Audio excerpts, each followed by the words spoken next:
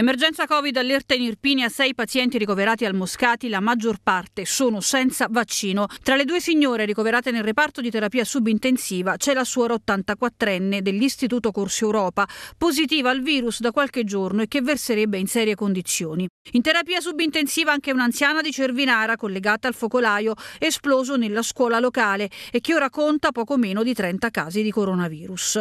Intanto isolato a casa con lievi sintomi il parroco di Arcella, novantenne, don Enrico Spiniello. Il parroco che in questo momento è affetto dal Covid nonostante avesse avuto anche la terza dose. Siamo preoccupati perché si tratta di un riferimento storico della nostra comunità, si tratta di una persona che ha dato sempre grande eh, impegno eh, sia nella cura delle anime che nel campo sociale. Speriamo che ben presto possa uscire fuori da questo maledetto eh, virus e possa ritornare a celebrare la Santa Messa. Chiederò ai miei cittadini di evitare gli assembramenti durante i funerali, durante le iniziative.